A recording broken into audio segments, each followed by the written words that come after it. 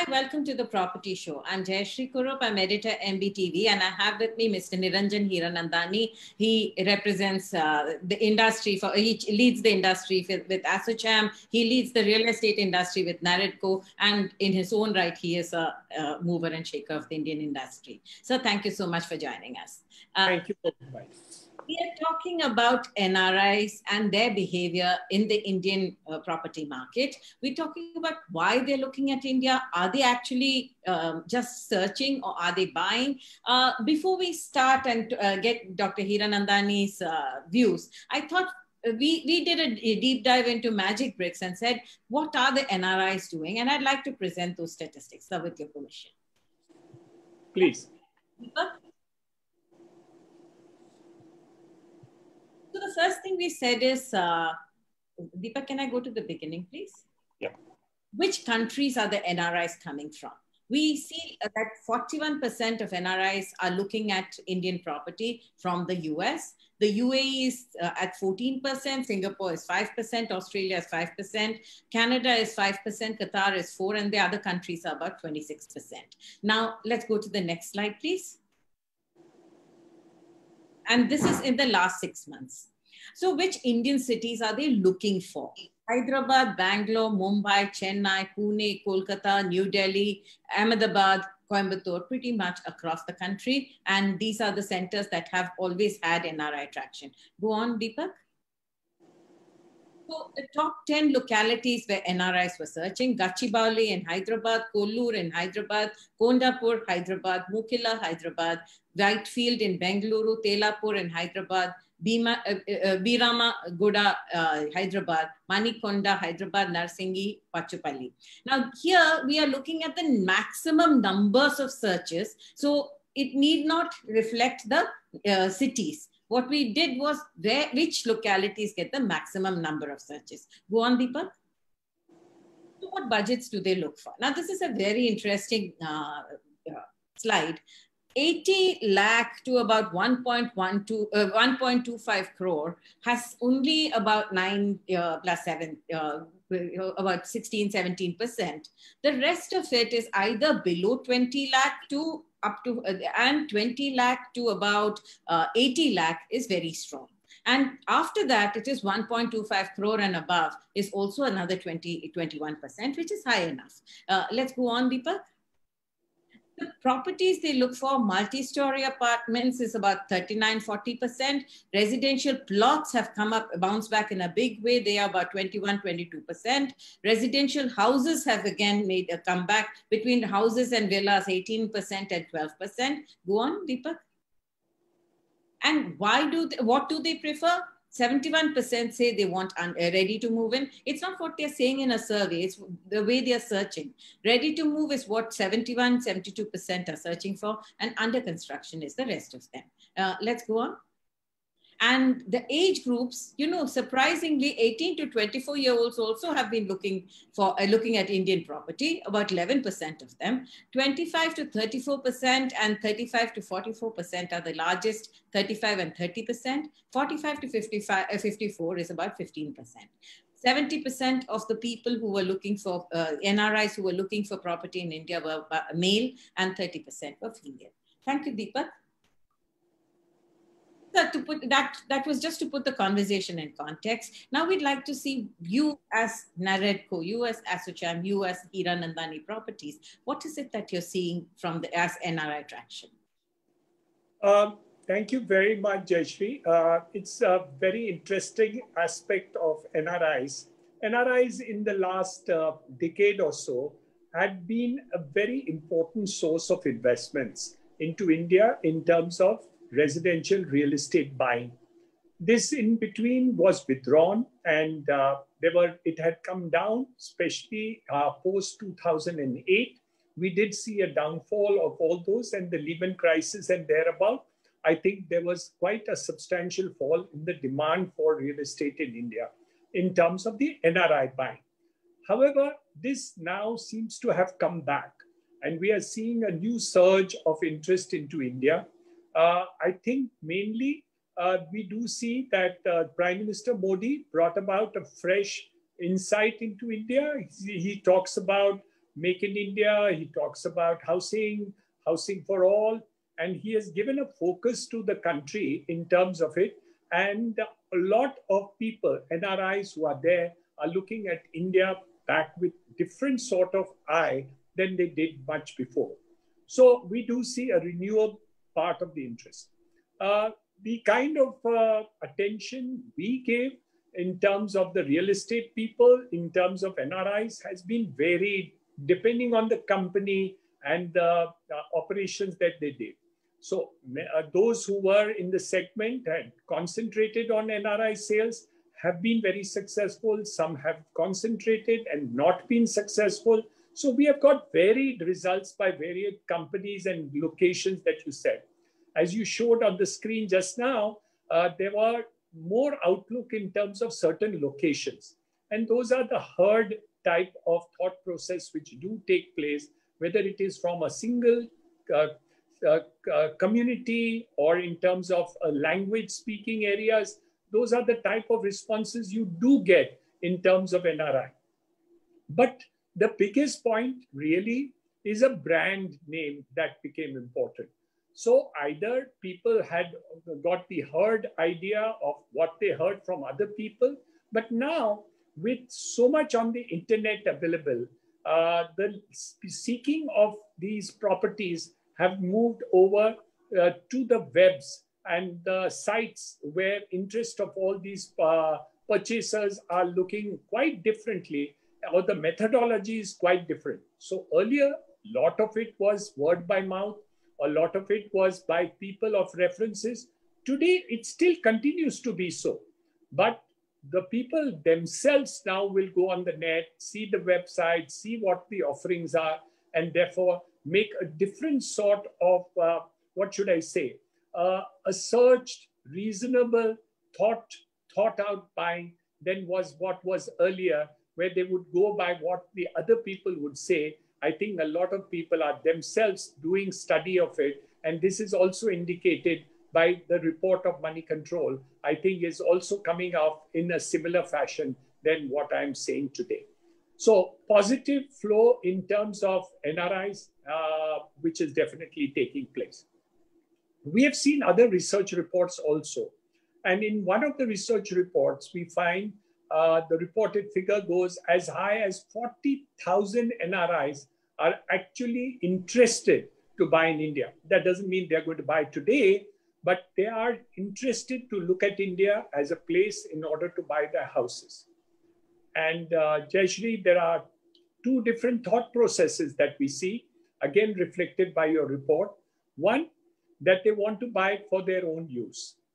The second, to look at it as a safety fact investment into India and see whether the appreciation of the property can take place. Uh, and th there are two other reasons also why I think India uh, looks interesting to them.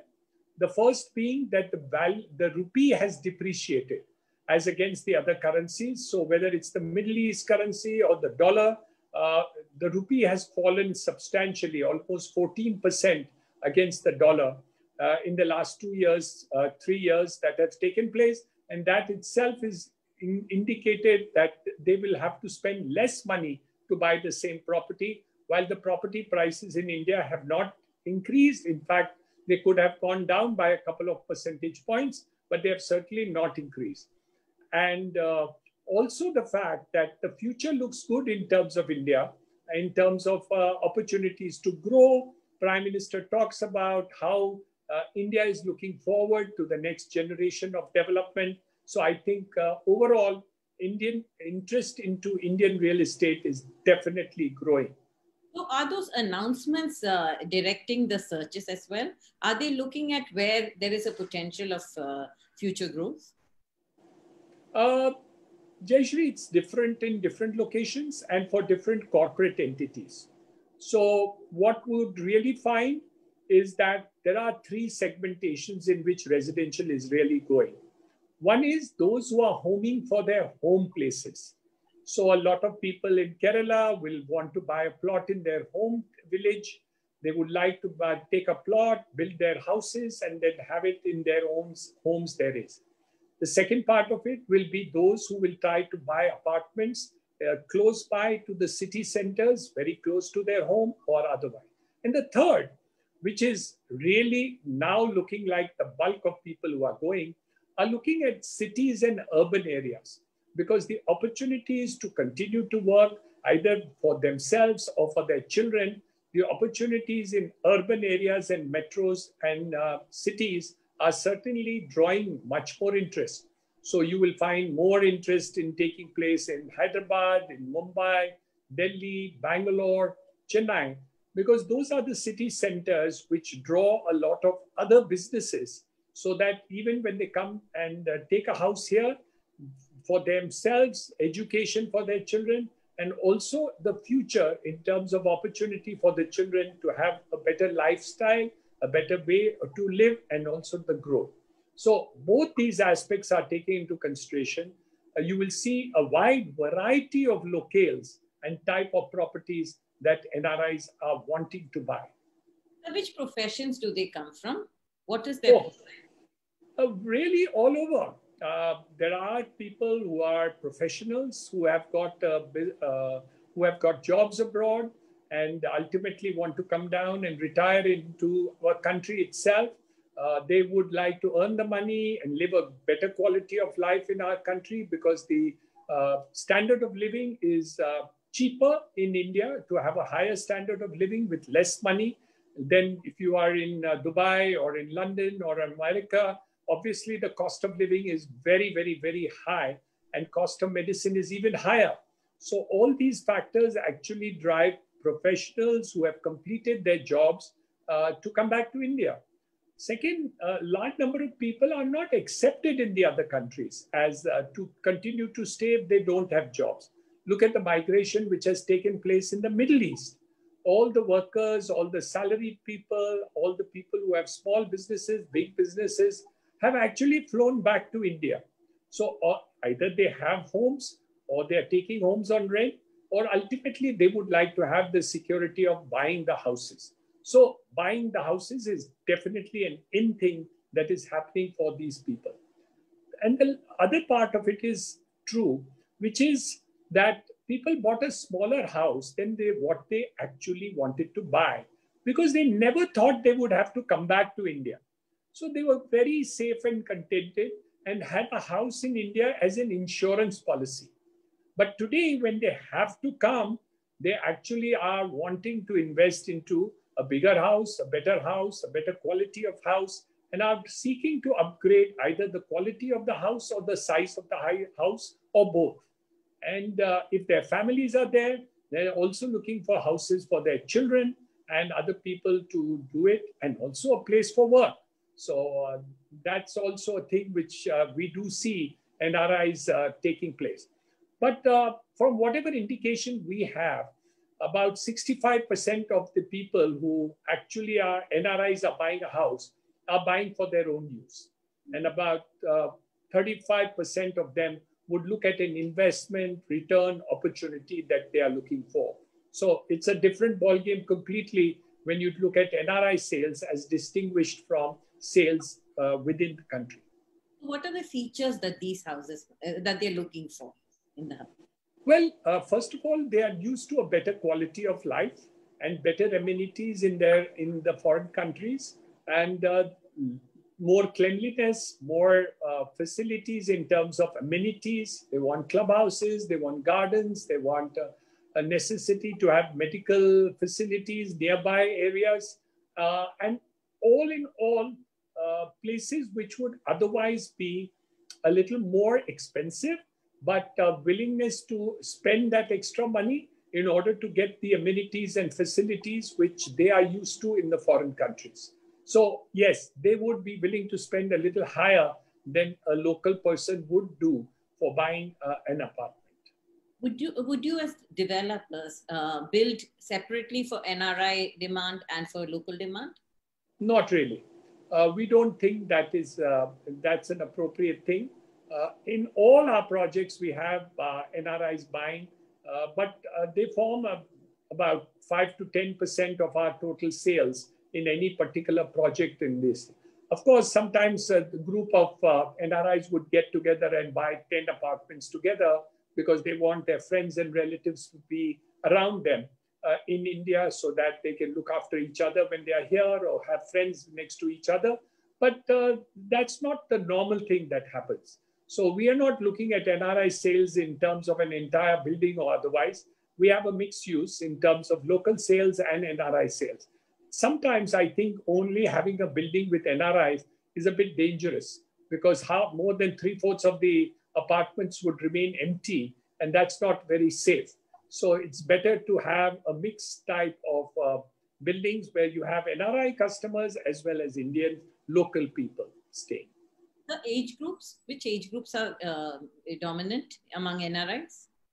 Uh, surprisingly, all segments seem to be uh, the interested. Those who are young uh, also want to buy an apartment. Maybe their budgets are not as big. Uh, and the middle-aged people are the maximum buyers. So you find from the 35 to 50 uh, segment actually are the major buyers of uh, real estate. They are looking at a long-term buying that they do. By that time, they have already started earning monies, uh, helping them to set aside some savings in buying an apartment, and they would buy either in installments at ready. So we do see both the segments, uh, not necessarily only looking at ready apartments. As long as they are buying from a brand, they're quite comfortable in paying by installments. So uh, we don't see every one of the NRIs wanting ready projects, but uh, recently, yes, it is like that. After many of the uh, uh, builders have failed in the marketplace, a large number of flat uh, purchasers are looking at ready or close to ready apartments and not willing to take the risk of under construction properties that we see. Is that a long-term phenomenon or you think that's a temporary one? Will uh, NRI start investing in launched properties as well? Well, uh, to be honest with you, there are two factors. One, what is the factor India and what is the factor in the country in which they are working? So there are possibilities that they will actually continue to do more uh, investments in the country in which they are, if they have a long-term interest in staying there. But after the present shakeup, I think it's a current phenomena. And this current phenomena, people don't forget easily. So my reading is that it will continue for a longer period of time. But how long? Only time will tell the, first round when we had the NRIs coming in when India's economy opened up, the, uh, the mid to uh, late 90s, we saw a lot of uh, differences. I mean, you know, there were new facilities and features that went into housing complexes because a lot of NRIs were also buying, right? And many were uh, taking short term commissions in India and things like that. Do you see that kind of trend happening? Will the housing market itself transform because of this demand? Uh, we are more open economy now than we used to be. Uh, Jayashree, you're right. Uh, at that point of time, the NRIs did influence the quality of buildings, the quality of housing, and the amenities that are required.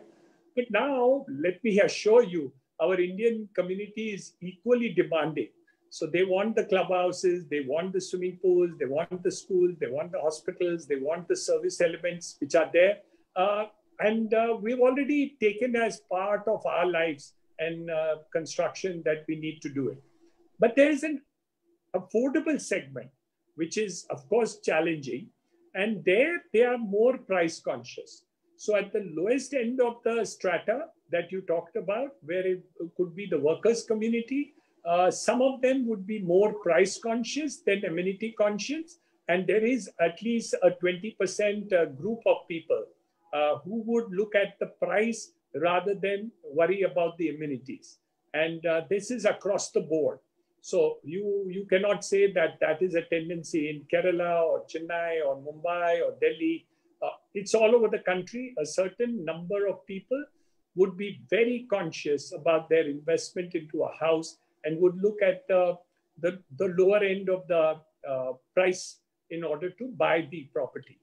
But I would say that is about 20% of it. The rest of them, 80% would not mind paying a premium for a quality of the product. Even if they're buying a small apartment, they would prefer to have better amenities, better uh, facilities in the common areas and other things, and have a house of that kind.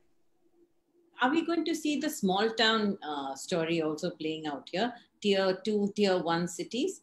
Uh, will this move to tier one and tier two? Yes, uh, it is so in the case of NRI investments. The homing instinct still continues. And those who come from the villages want to go back to the villages. They buy plots, they make their own bungalows. They would like to have schemes of people who have plots and other schemes. Uh, you have small town developers where the NRIs are staying. You've seen complexes in Kochi. You have seen uh, in the in uh, Coimbatore and other areas where we do see a large number of NRIs have purchased these complexes. But uh, by and large, I would not uh, say that is true. But uh, but the exceptions are also true in the sense we do have that kind of buying also continuing to take place. So I would not rule it out at all. But uh, if you're looking at the numbers, uh, the major towns really take the cake. So is NRI investment only in residential? Are they buying into commercial? Are they buying into uh, specialized infrastructure and so on? Yes, of course. Uh, the interest in commercial has gone up over a period of years. Of course, the foreign direct investment is more by institutional investors rather than individuals. But individuals are also investing into commercial property in terms of getting returns. So we do see NRIs buying, and that is the 30%, uh, 25, 30% that I talked about, who are looking at investments are also looking at commercial buying. So uh, it is happening, and more and more NRIs, I'm not keeping that category, I'm not talking too much about that category because there is a huge buying of uh, even uh, foreign pension funds, other funds which are interested in uh, commercial properties. Individuals, I would say 80, 85% of them are looking at residential. Maybe 10, 15% are looking at commercial in terms of total value proposition that NRIs as individuals are investing. Corporates, of course, uh, commercial investment is higher and much more structured uh, than you would see in the case of residential properties. Now, what, how has COVID impacted even NRI buying sentiment? I don't mean whether they want to buy or not, but what they're looking at. Um, Jayashree, difficult to give you an analysis so early in the day. The initial definitely is the fact that everybody wants safety. Yeah. They're looking at how can we be more safe in the complexes that we are staying what is the kind of facilities that is available to the person who has bought a house? But that's not only for nris it's also for for residential buyers. So i would say uh, they are very very similar with one difference being that uh, they are more used to a better quality of service or a higher level of service in their foreign countries as compared to india so they are more demanding to say that can you give concierge for services? Can you actually provide all the other facilities which are there within the complexes, including healthcare and others? So all these factors definitely will count and do count just now when the uh, people are buying. And uh, let me assure you that the brand is becoming more and more important. Earlier, I don't think that the, the, the NRIs were as brand conscious about buying. They would just buy wherever they could get an apartment. Today, they are necessarily looking if they can buy a branded product rather than just go to any product anywhere. Because I think there has been a lot of failure by builders and developers all through the country and uh, has scared many of these people whose, whose uh, investments have been burned down and uh, naturally, they're looking more at branded people in order to assure them that they're. Of course, RERA has helped because uh, they've been more and more assured in the case of new investments as compared to the earlier ones. But yes, they look more at branded today than they were ever doing before. Uh, how long does an NRI take, uh, considering that they can't fly in and see the properties, right? And they, they don't know when they're going to come in. There's a lot of technology, uh, use of technology in selecting the homes and also in finalizing the transaction. How does it work? Jayashree, this is happening to Indians also. So, but yes, uh, the NRIs are definitely taking options in order to buy the property and sending deposits and others and saying that they will come over and close the transactions. Some of them have told their relatives and friends to actually go and check the properties, and some of them are doing that. And third, we are sending them as much as digital information, uh, videos, plans, whatever it is, to them in terms of it to show them the property and the other thing. So the digital media has definitely helped them to close down the choice and even make it. So we have had sales on the web and uh, people have closed the transactions. And uh, we do, do know that they do talk to their friends, relatives, and other people to come and check on to the properties also as to whatever it is. But fortunately, a lot of information available on blogs, on the net, and others have helped them to close the transaction without fear and favor. And uh, how long do they take to close a transaction? Uh, uh, normally, I would say between 30 and 60 days is the time that they close the transaction, unless they have decided to fly in themselves, which is, of course, a delayed or whatever it is. And they would send some amount of money in order to put it, in order to say that, look, we are genuinely interested, and uh, here is the deposit for the purpose of transaction, and we'll come down and sign the agreement. But many of them have uh, actually executed power of attorneys in favor of their relatives and others and even closed the transactions and signed them. Uh, so your advice you lead the industry your advice to other developers what are the three four things that developers should do if you want to uh, capitalize on this nri demand i think the first is of course uh, uh trust you should not belie the trust of the investors. You should actually be a service oriented company. And the third, you must go and keep up your commitments. Uh, that's the most important thing of all. Uh, developers have not been have been known not to keep their commitments in the past, and uh, I'm I'm seeing a world of change in them. Uh, I'm hopeful that in future that they will continue to improve their services elements to the NRI community. Why NRI? All, every buyer should have the same or similar or better service. But the credibility that you can get in international markets will give you a multiplier benefit uh, in the long run as your credibility is uh, spread all over the country, all over the world in terms of uh, that you have honored your commitment the final question if if uh, uh, nri buys into your property thinking that it is a safe haven do you also need to give him other services like helping him to lease out the property if he's not coming in now and things like that? Do developers step in there?